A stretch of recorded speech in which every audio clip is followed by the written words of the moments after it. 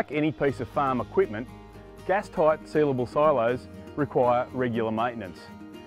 The most common areas that we need to think about maintenance on a gas-tight sealable silo are the seals, the sealing faces, any plumbing on the side of the silo, and of course the pressure relief valve. If we think about the top of the silo, the most common area for damage is going to be the inlet or the inlet lid. The inlet can be damaged mechanically by an auger or a conveyor inloading grain, and the seal can be damaged by birds and again mechanically. And we can replace those seals using a foam rubber that's of a closed cell um, structure and using an adhesive there that's going to keep that in place.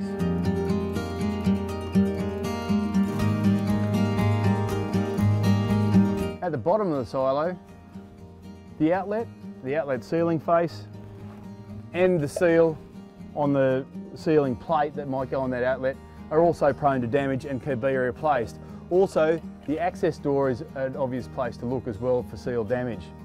Now those seals can be replaced with a closed cell rubber foam like this one and they're pretty easily taken off the old uh, sealing plate uh, with a scraper and then fixed with an adhesive like this one.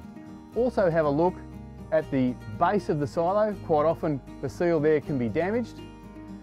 And also have a look at the sealing plates on the aeration fans as well.